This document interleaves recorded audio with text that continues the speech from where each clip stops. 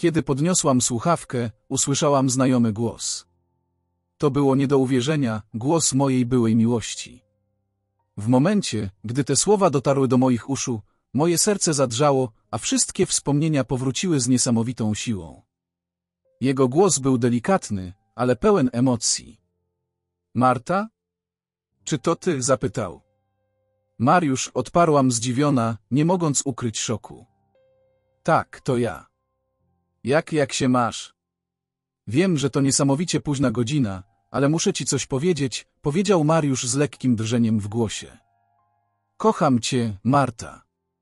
Nigdy nie przestałem cię kochać. Czy możemy się spotkać? Chciałbym się z tobą zobaczyć w parku, tam gdzie mieliśmy nasz pierwszy całus. Te słowa były jak grom z jasnego nieba.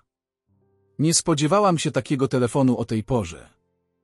Myślałam, że to jakiś żart, ale wiedziałam, że muszę dowiedzieć się, dlaczego Mariusz chciał się spotkać tak nagle, szczególnie w miejscu, które miało takie ważne znaczenie dla naszej przeszłości.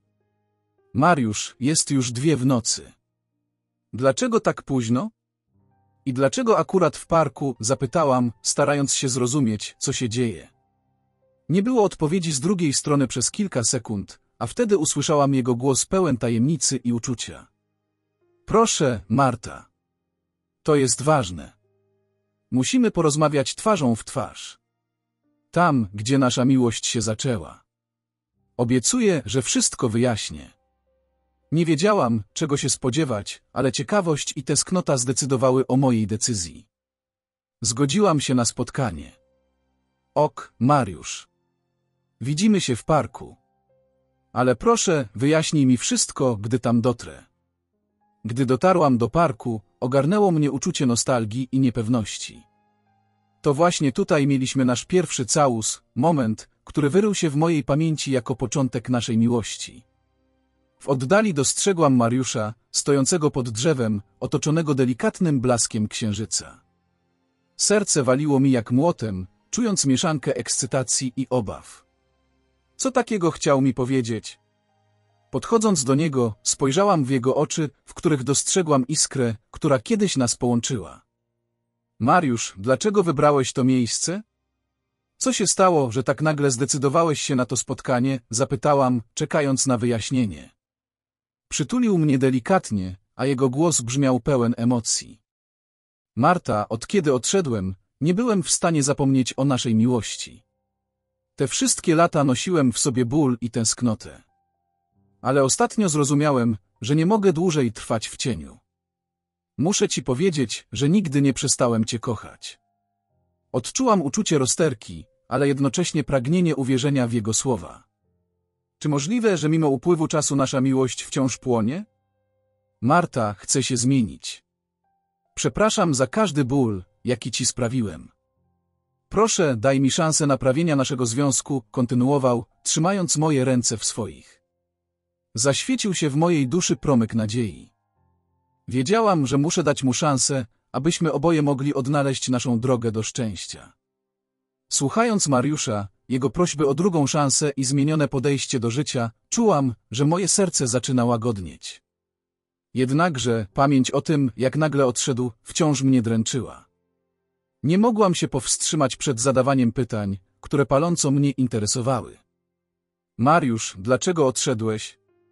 Przecież było nam tak dobrze. Dlaczego tak nagle zniknąłeś? Dopytywałam, niepewna, czy mogę mu wierzyć. Przez chwilę jego spojrzenie uniknęło mojego, a na jego twarzy pojawił się smutek. Wydawało się, że walczy z jakimś wewnętrznym konfliktem. Wiem, że to ciężko zrozumieć, powiedział po dłuższej chwili ciszy. Na początku nie chciałem ci tego mówić, obawiałem się, że zrozumiesz. Ale muszę ci powiedzieć prawdę. Mój niepokój narastał, a ja czekałam na jego wyjaśnienie. To przez twego ojca, Marta, wyznał Mariusz. Kiedy odkrył nasz związek, zakazał mi spotykania się z tobą. Zasugerował, że jeśli jeszcze raz zobaczy mnie w twoim towarzystwie, naśle na mnie swoich kolegów, którzy mi zgotują piekło. Słowa te były jak cios. Nie mogłam uwierzyć, że ojciec był w stanie tak bardzo wpłynąć na nasze życie. Czułam się zszokowana, ale jednocześnie potrzebowałam więcej informacji. Mariusz, czemu mnie o tym nie poinformowałeś? Dlaczego tak nagle odszedłeś, zostawiając mnie samą, zapytałam z bólem w głosie. Zawahał się przez chwilę, a potem odpowiedział, martwiłem się o twoje bezpieczeństwo. Próbowałem znaleźć sposób, żebyśmy mogli być razem, ale obawiałem się, żeby nie narażać cię na niebezpieczeństwo. Byłem przerażony myślą, że mógłbym cię stracić. Te słowa wstrząsnęły mną. Wiedziałam, że Mariusz musiał czuć się w pułapce, pomiędzy miłością do mnie a obawami o swoje bezpieczeństwo. Jednakże potrzebowałam czasu, aby przetrawić te informacje i zdecydować, jakie będą kolejne kroki w naszym związku. W naszym związku z Mariuszem było wiele radości i wzajemnego wsparcia. Zdawało się, że nic nie mogłoby zburzyć tej pięknej harmonii. Jednak, kiedy ojciec dowiedział się o naszym ponownym spotkaniu, wszystko się zmieniło. Nagle zostaliśmy zaatakowani przez falę groźnych wiadomości i tajemniczych obserwatorów. Moje serce waliło mi z przerażeniem, a strach ogarniał nasze życie. Postanowiłam zmierzyć się z ojcem, żeby wyjaśnić mu naszą prawdziwą miłość i przekonać go, że Mariusz jest dla mnie tym jedynym. Umówiliśmy się na spotkanie w ich domu, gdzie miałam nadzieję rozwiać jego obawy i otworzyć mu oczy na naszą szczęśliwą przyszłość. Kiedy wszedłam do salonu, ojciec Marty siedział tam, na swoim ulubionym fotelu. Jego twarz była zacięta, a oczy pełne gniewu. Byłam spięta, ale postanowiłam zachować spokój. Ojcze, musimy porozmawiać, powiedziałam, starając się kontrolować emocje. To, co między nami a Mariuszem jest prawdziwe. Kochamy się nawzajem i pragniemy być razem. Ojciec spojrzał na nas z pogardą, a jego głos brzmiał pełen niechęci. Marta, wiesz przecież, że Mariusz to nie jest odpowiedni mężczyzna dla ciebie. Nie pasuje do twojego środowiska i przyszłości. Wiedziałam, że próbuje chronić mnie, ale nie mogłam zgodzić się z jego poglądami. Próbowałam wyjaśnić mu, jak silna jest nasza miłość i jak bardzo zmienił się Mariusz. Niestety, nie chciał słuchać. Zamiast tego, zaczął grozić Mariuszowi, obiecując, że naśle na niego swoich kolegów, aby go pobić, jeśli jeszcze raz zobaczy go w moim towarzystwie. Byłam przerażona i zrozpaczona, patrząc na ojca, który nie chciał usłyszeć prawdy. Wiedziałam, że muszę podjąć trudną decyzję, aby chronić naszą miłość. W obliczu coraz większego zagrożenia ze strony ojca, wiedzieliśmy, że nie możemy dłużej pozostać w tym toksycznym środowisku. Podjęliśmy decyzję o ucieczce za granicę w poszukiwaniu bezpieczeństwa i nowych możliwości.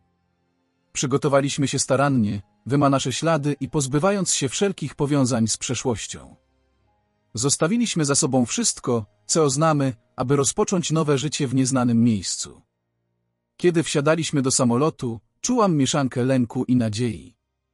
Byłam smutna, opuszczając rodzinę i przyjaciół, ale wiedziałam, że musimy podjąć to ryzyko, aby ocalić naszą miłość i bezpieczeństwo. W nowym kraju czekało na nas wiele wyzwań. Szukaliśmy pracy, musieliśmy odnaleźć nowych przyjaciół i zbudować nasze życie od podstaw. Byliśmy gotowi na ten trudny nowy początek, wierząc, że nasza miłość przetrwa wszystko. Kiedy osiedliliśmy się w nowym kraju, wiedzieliśmy, że musimy zacząć wszystko od nowa. To było czasem pełnym wyzwań i trudności, ale wierzyliśmy, że razem możemy wszystko przetrwać. Mariusz znalazł pracę jako nauczyciel muzyki, a ja rozpoczęłam pracę jako projektantka wnętrz. Pomimo przeciwności losu, nasza determinacja i wzajemne wsparcie pomagały nam pokonywać przeszkody. Nasz związek umacniał się z dnia na dzień. Dzieliliśmy ze sobą radości i smutki, wspierając się nawzajem w trudnych chwilach. Odkrywaliśmy nowe pasje i cele, które chcieliśmy osiągnąć jako para. Czasami tęskniliśmy za rodziną i przyjaciółmi, ale wiedzieliśmy, że musimy trzymać się razem, aby przetrwać. Wiemy, że nasza miłość była warta poświęceń i trudów, które musieliśmy znosić. Dzięki naszej odwadze i determinacji stworzyliśmy nowe życie w kraju, w którym czuliśmy się bezpieczni i szanowani. Nasze serca były wypełnione nadzieją na przyszłość, a nasza miłość rozkwitała, silniejsza niż kiedykolwiek wcześniej.